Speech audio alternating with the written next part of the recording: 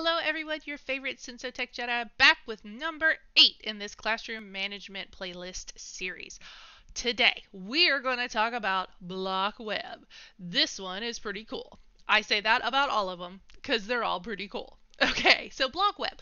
Now, what this does is it allows the internet to be disabled. Not um, as if you're turning off access to the internet. This is more thinking about the browsers limiting access to users so they can't do anything in any browser on there.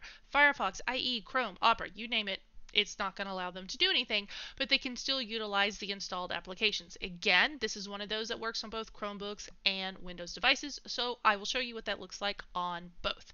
So we talked about how you can select either, you can be, you know, very selective about which ones you want to push this out to, you can select all of your devices or utilize your groups and sites over here to select which ones you'd like to turn this on for.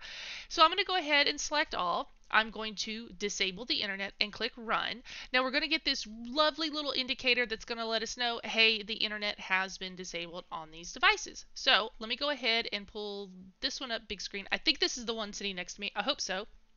I'm going to try to go to Chrome and then let's go to Wikipedia and see the internet has been disabled. We cannot go to Wikipedia. So let's open another tab and let's try to go to, uh, let's do code.org this time around. I'm going to type in code.org and click go.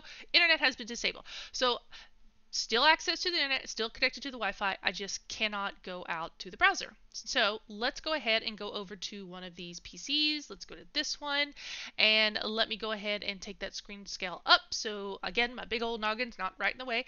And let's open up um, I'm just going to choose Chrome again. I'll, I'll do Firefox in here in just a minute. And let me select one of these tabs up here. This one is Animal Jam. The internet has been disabled. I cannot go to Animal Jam. That's what it's going to look like there. And now let's utilize this. Let's go. Let's get crazy. Let's go out to Microsoft Edge. Uh, it's I think it's going to open on there. I have it's been so long since I've opened up Microsoft Edge. Um, it's there it goes. Just took it a minute. I had to think about it. So again, on this one, let me type in um, here. I have device, and I'm going to say code.org. Internet has been disabled. All right, so now you get the idea of what it's going to look like on those devices. When you want to uh, turn this off, you go ahead and select those devices again, and this time you're going to pull down, I keep selecting the wrong thing, Enable Internet, and click Run.